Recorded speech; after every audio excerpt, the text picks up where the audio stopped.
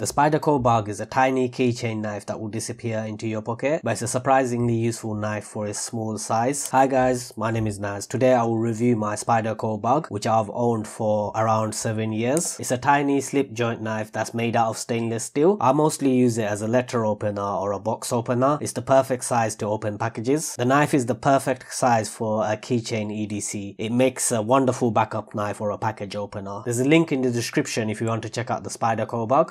For size comparison, here's the Spyderco bug next to my 11mm Micra Keychain Multi 2, my Rovyvon Aurora flashlight, my Secrid Mini Wallet and my Parker Jotter ballpoint pen. I've done reviews on all of these other items so check out my channel. But as you can see, the Spyderco bug is really small and it's perfect size for the keychain. I carry both of these other tools on my keychain as well. It's too small to carry on its own. You lose it but if it's by itself. So I'd recommend you carry it on a keychain or a zipper. I usually have the Spyderco bug on my car keychain so it's always with me whenever whenever I go out with my car. The knife doesn't lock, it's a slip joint knife, so it's perfect for UK everyday carry. The slip joint is strong enough for a knife of this size. You can hear a firm click when opening and closing the knife.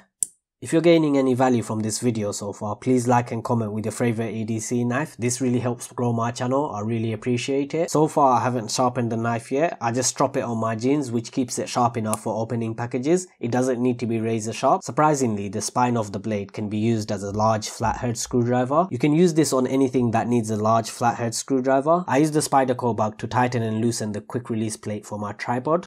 The Spyderco Bug is the perfect keychain EDC knife. Anything bigger than this would be too big for the keychain in my opinion. I think the knife is perfect for someone who's trying to cut down on their EDC items and going for a more minimal EDC setup. It's also perfect for someone who's looking for a letter opener or a box opener but doesn't want something big and plasticky. This knife makes it easy to open packages. The Spyderco Bug also makes a good backup knife. If you have it on your keychain, you'll always have it with you. It's there when you need it the most. I've left a link in the description where you can purchase the Spyderco Bug please go and check it out.